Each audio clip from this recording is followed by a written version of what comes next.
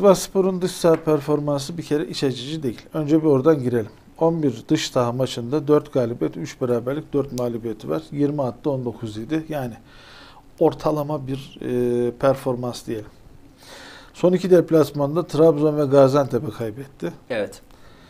E, 4 maç kazanamadı. 5. maçı evinde e, Alanya Spor'a 1-0 kazandı. Beşiktaş'a 2-1 yendi 18. haftada. E, evinde Rize ile berabere. Deplasmanda Antep'e 5-1 kaybetti. İçeride Başakşehir ile berabere. Dışarıda Trabzon'a 2-1 kaybetti. E, ve evinde e, Alanya'yı 1-0 yendi. Şimdi e, Uğur çiftçi sakatlığı sürüyor. Barış yardımcı sakat. E, şimdi Sivas'la ilgili çok e, alınması gereken tedbirler çok net. E, gol sayılarına bakarak söylüyorum. Yatabare 11 gol, Mert Hakan Yandaş 9 gol, Emre Kılınç 7 gol. Bir de e, orta saha, merkez orta saha Hakan Arslan 6 gol. Zaten 33 golü 4 tane oyuncu atmış. Şimdi e, burada yorumcu sıfatıyla çıkıp bu 4 oyuncuyu tutarsa Ankara gücü gol yemez demenin bir manası yok. Onu ilkokul çocuğu da artık söyler zaten. E, ilkokul çocuğunun da söyleyeceği şeyi Mustafa Hoca zaten e, farkındadır. Ne olduğunu da gayet iyi biliyordur. E, şeyin e, Sivas Spor'un atraksiyonları ile ilgili 2-1 kaybettiği yani dışarıda oynadığı son maçla ilgili bazı görseller var. Onları müsaade edersen göstereyim. E, Trabzon ön alanda baskı görselimiz var bizim. E, arkadaşlardan Emre'den rica edeyim. E, Sivas Spor'un ön alanda paylaşmalarıyla etkili olacak, paslaşmalarıyla etkili olacakken rakip Trabzon dar alanda bastı. Dar alanda çok kişiyle e, Sivas Sporluların pas kanallarını daraltmak için bir çaba içerisine girdi. Tam ekran verebilirsek arkadaşlar bunu. Ee, şimdi topun olduğu yerdeki bu Sivas Spor defansından çıkmaya çalışırken Trabzonspor'un baskısını görüyoruz burada. Bu baskıyı aynı şekilde e, Ankara gücünün de kurması gerekiyor. İlk yarıda özellikle. Şimdi e, az önce bahsettiğim oyuncuların gollerinin bütün hazırlık pasları orta, şey defanstan başlar Sivas Spor'da. Eğer ön baskıyı güzel yapabilirseniz, bir şekilde çıkartmazsanız onu defanstan, e, Sivas Etkili ayaklara ulaştıramaz. Etkili ayaklarına ulaştıramazsınız. Trabzon üçgenleri diye bir görselimiz daha olacaktı e, Emre. Onu da alayım ben. E, şimdi Sivas Spor'da Trabzonspor'a aynı şeyi yapmaya çalıştı elbette. E, Birebir oynayarak e, defastan çıkartmamaya çalıştı. Ama Trabzonspor'un burada ayağı etkili ayaklarla e, üçgenler kurarak çıktığını görebildik. Şimdi aynı durumu Ankara gücü için düşünelim. Sivas Spor Ankara gücüne de böyle üçlü, dörtlü, beşli baskı yaptığı zaman ayağı iyi olup üçgenlerle çıkabileceği elemanları var mı? Var. Şimdi var. Sol tarafta işte Pinto e, önünde e, Mişalak. Şey, Mişalak e, orta sahan gelecek Sedat gelecek ortaya efendim yanında şey var e, Alihan var vesaire. Bunu ayakla çıkabilecek yeteneğe sahip.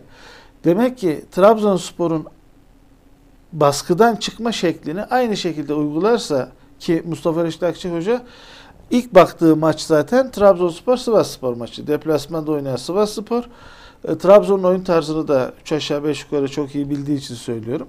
Bunları aynı şekilde Mustafa Reşit Akçay da kafasının bir köşesine yazdı.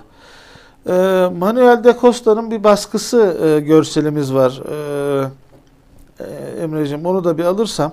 O da tüm ülkeyi gezdi.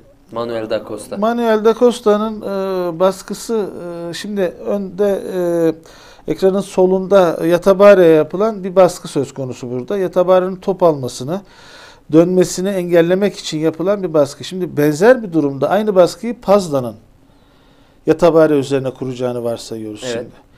Şimdi bu e, Yatabare'nin topu alması demek yat, e, sağında ve solunda o ortada Hakan sağında ve solunda e, Emre Kılınç ve Mert Hakan yandaşı top aktarabilmesi demek. Dolayısıyla defanstan çık toplu çıkışlarda merkeze top çıkışlarında Yatabare'nin topu almasını ve topu pas olarak kullanmasını engelleme işi Sivasspor'un hücum atraksiyonlarını oldukça zayıflatacak olan bir faaliyet. Bunu da en iyi Paz'dan yapar diye düşünüyorum. Demek ki ben sayarken Alihan'ın ismini saydım ama tabii bu Paz'dan iyileşti, kadroya girdiği bilmem. Yani iyileşirse Paz'dan, iyileşmezse Alihan. Ee, bu durumda Yatabare ile yakın oynayıp Yatabare'nin top alışını ve e, hücuma yönlenen e, takım arkadaşlarına zaman kazandırmasını ve top kazandırmasını engellemesi gerekiyor. E, son görselimiz Trabzon-Sivas maçı ile ilgili Sivas baskısı görseli. İkinci yarıda yani bu iki yarıdaydı. İkinci yarıda Sivas Spor birebir oyun e, moduna girerek e, baskı yapıyor. E, opsiyonları daraltıp topla çıkmayı engelliyor. İşte e, Ankara gücünün başına gelecek olan da bu yine. Adam adama savunma. Şimdi burada Ankara gücünün A planı bu. Yani bana birebir baskı yaparlarsa arkaya uzun top atarım. Sabah Mişalak, Rodriguez, e, Orgil hatta o şeyi kullanabilirler, arkayı kullanabilirler denilebilir. E, bu oyun tarzı Ankara gücünün işine gelen oyun tarzıdır. Yani özellikle ikinci yarılarda Sivasspor'un böyle önde baskı kurma hevesi fazla. Bu durumda e, Ankara gücünün birinci yarıda B planını henüz bilmiyoruz nasıl bir B planı olduğunu. Birinci yarıda B planını, ikinci yarıda Sivas birebir baskıya geldiğinde de daha önce kullandığı Fenerbahçe maçında kullandığı A planını devreye sokmasını bekleyebiliriz. Evet. Eğer böyle bir e, yaklaşım söz konusu olursa teşekkür ediyorum Emre sağ ol. E, böyle bir yaklaşım söz konusu olursa şeyin e, Ankara gücüne Sivas'ı e, buradan birden fazla golle mağlup göndermesi çok mümkün. Ben Gençler Birliği Sivas maçını izledim yine tribünde canlı. Gençler Birliği'nin e, o Serdar yok o şeydi Göztepe maçıydı. İkisini hep karıştırıyorum zaten. Gençler Birliği'nin Mert Hakan Yandaş, e, Emre Kılıç yoktu o maçta zannediyorum ama Mert Hakan Yandaş, Yatabare vesaire nasıl engellediğini gördüm. E, şeyin de e, Sivas'ın da. Mustafa Reşit Akçay'ın özellikle Mustafa Reşit Akçay'ın bu e, Trabzonspor maçını çok iyi takip ettiğini, defalarca izlediğini ve izlettirdiğini tahmin ediyorum. Dolayısıyla hani çok zor olacağı düşünülen bir maçtan Ankara gücünün çok e, temiz bir galibiyetle ayrılacağını varsayıyorum. Bir de şöyle bir e, atraksiyonu var Sivasspor'un Gökalp abi. Deplasmanlarda Fenerbahçe'den sonra en çok isabetli şut e, girişiminde bulunan takım Sivasspor. Yani hem şut girişimi fazla ve bunda isabet de sağlayabiliyor ki zaten e, özellikle Mert ve Hakan'ın, e, Mert Hakan Yandaş ve Hakan Arslan'ın e, uzaktan 4-5'er golü olduğunu biliyoruz bu sene zaten. Yerden sert vuruşlarıyla özellikle. Bunda zaten muhtemelen Ankara gücü önlemlerini alır. Özellikle orta ikiliyle. Şöyle bir durum daha var. Ee, yine Sivas Spor'la alakalı. Bir Sivas Spor şampiyonluk yolunda e, ilerleyen, hani oradan çok geri düşmemeye çalışan bir ekip. Ee, orta sahanın Dinamosu orada Ha- Hakan Arslan ikinci sarı kart sınırında. İkinci defa sarı kart sınırında. Yani 4 sarı kart yedi, bir maç cezalıydı. İkinci İkinci üçü yedi. Şimdi ceza sınırına. Sivas'ın sonraki maçı da Galatasaray maçı.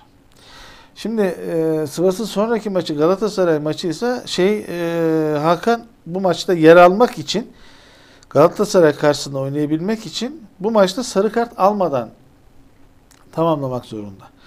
Bu Hakan'ın özellikle defansif opsiyonlarını e, net kullanamayacağı anlamına gelir.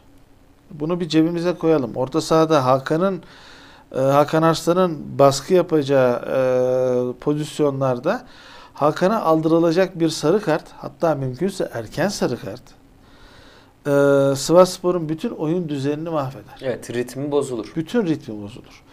Yani e, hocanın e, bu maçta Hakan Arslan'ı oynatmamak gibi bir şey yapacağını düşünmüyorum açıkçası. Ama eğer oynarsa sarı kart sınırı Hakan Arslan'ın hem hareketlerini kısıtlayacak hem de olası bir sarı kartta bütün konsantrasyonunu ve motivasyonunu düşürecektir. Ee, Sivasspor'un Galatasaray maçı için ne puan kaybına tahammülü var ne oyuncu kaybına tahammülü var. Dolayısıyla eee, Ankara gücünün üzerine biraz fazla yani önce bir oyunu tuttuktan sonra mümkün olduğunca fazla gelmeye çalışacağına dair bir eee, plan kurulabilir kafada.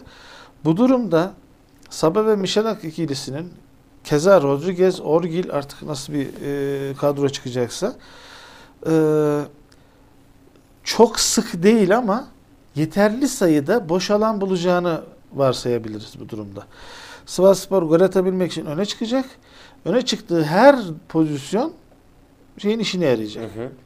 Ankara gücünün işine yarayacak. Ee, dolayısıyla ben benim ben e, Mustafa Hoca ile görüşebilsem bir tak hani tavsiye verebilecek ya benim görüşüm budur hocam diyebilecek olsam sert oyna hocam derim.